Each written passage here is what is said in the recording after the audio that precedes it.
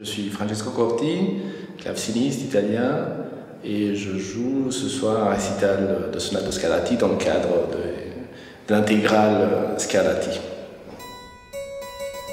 C'est un honneur, bien sûr. C'est rare que, que ça se fasse, et c'est c'est très, très sympa l'idée de partager ça entre plusieurs classicistes, donc c'est vraiment une coopération entre plusieurs collègues. C'est une très très bonne idée. Et en plus, on le fait dans, des cadres absolument incroyables, comme le château où on est.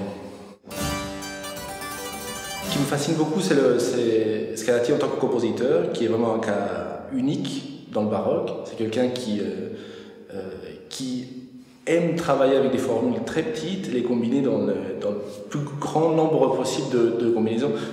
Pour, ça, je le trouve très, très proche, par exemple, de Haydn, je le trouve assez pré-classique dans ce sens-là, plutôt que, plutôt que baroque. J'ai commencé par le piano, ma mère est pianiste, donc euh, c'était vraiment dans la famille. J'ai fait de l'orgue, j'ai étudié du violoncelle aussi, j'ai fait un peu de flûte même. Euh, mais j'étais toujours euh, fasciné par le répertoire baroque, donc j'étais un peu obligé de, de, de bousculer vers le clavecin. J'ai un lien un peu indirect parce que je suis euh,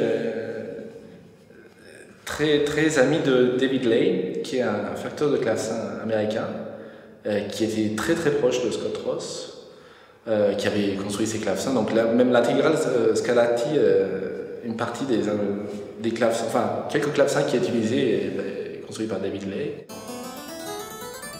Et la sonate en si mineur à 87 qui est une sonate, si je ne me trompe pas, qui n'a pas d'indication de tempo, qui est normalement considérée un andante, qui est très euh, non baroque, dans le sens qu'il n'y a pas de forme, il n'y a pas de phrasé.